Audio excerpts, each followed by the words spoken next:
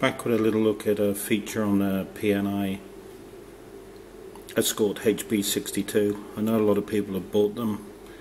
They're around £80 with an antenna from uh, PJ Box and also you can get them on Amazon and wherever else.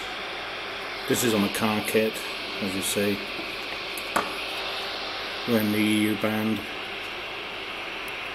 Not much here, noise. Everybody knows I'm in uh, and uh, heaven. If you look at the screen, you see it says low. I don't know if we can make it any better. Top right hand corner, it says low. Then you key the mic, but I'm gonna do it there, I guess. So we key up FM, needle goes to there. Here's a little trick make make your life uh, more interesting. Switch off the radio.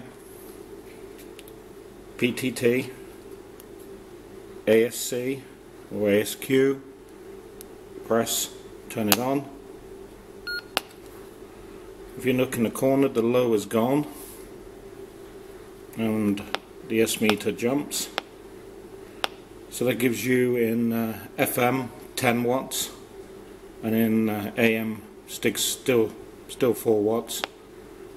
You see no low so you switch it off. On with PTT pressed and ASQ nope didn't work try again. And there you go back to low back to uh, standard 4 watts